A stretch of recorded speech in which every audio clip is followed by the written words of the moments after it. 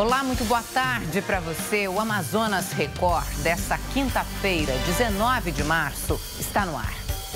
O governador Wilson Lima não está com coronavírus.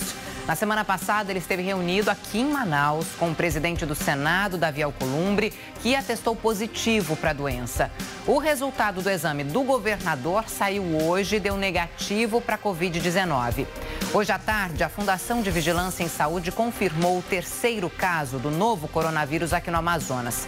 O paciente mora em Manaus e esteve no Peru recentemente.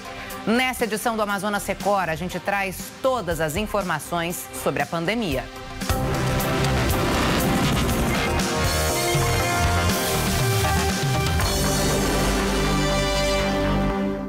17h50 agora, um cabo da Polícia Militar foi morto a facadas por criminosos que invadiram a casa dele na zona leste de Manaus nessa madrugada.